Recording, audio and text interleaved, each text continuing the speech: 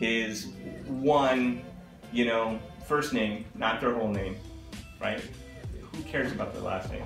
So when you act, when you say their full name, they're automatically going to be on guard. Because if you, especially if you say their full name, my only my mom says Eddie Carroll Cartwright, you know, so or whatever. That's my birth name, but so just their first name. Hey, is this Mark? You know, then they're they're more adaptable. Hey, is this Mark? Yeah, re I'm really sorry to hear what happened, right, with the ordeal. I totally get it, right? So you, you definitely want to build rapport because you already know what they've been through. You already got a good idea of, of what an ordeal. I mean, this is an ugly ordeal that lasts like a year, two years, sometimes five years. So when they go through these cases, it's brutal. It's ugly. So even if you came there like with a light of hope, they're not going to believe you unless you understand where they've been. Then they'll hear, you know, where where you are today. So you have to be able to dig them out of hell by understanding what hell's like, because it's hell. You know, because you don't know what's going to happen. A bunch of time passes. It's ugly.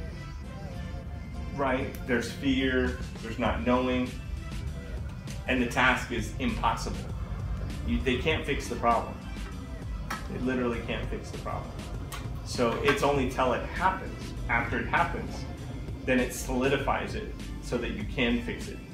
But then they don't know that they can do anything about it, right? So what you want to do is you have to be able to see it from their viewpoint, not yours, not from a desk, not from your, your point of view, but from their point of view because in their mind, the only music that plays is with them. You know what is? What's in it for me, right? You interrupted their time. You interrupted their day. Maybe they have nothing going on. Maybe they're just looking at Facebook, but still, people, you know. And maybe you're the most interesting guy that's called the whole day. The bottom line is uh to, to empathize with them first.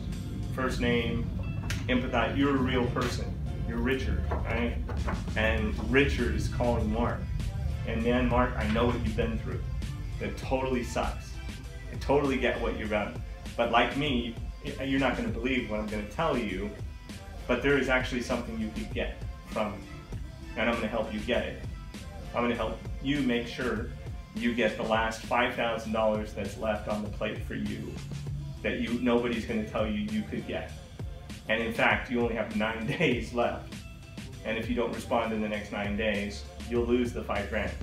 And then if you hear later, you'll find out that you'll never be able to get it again because it's time sensitive, right? I know that because I've been through it, right? I know the process. I was scared to death, right? Does that make sense? It actually helps. Uh, I feel like I figured it out. You after this. You know what I'm talking? Yeah, yeah, yeah. It's like you're you're Richard. You're talking to another human being that has a job, has a family, has maybe a wife, this they just got a divorce, you know, they got problems just like you do. Five thousand dollars can is probably a hundred times more than they have in their bank account. That's the impact it makes, right? And you know, but they just don't understand. And, and people who, I mean, they're afraid. People are afraid of things they don't understand. So you got to make it simple. Two pieces of paper. You autograph that, and we'll give you five grand you know, so that you don't miss out on it. What's in it for us? It's an investment. We make a little bit more. So, but we have we have the access to make it happen.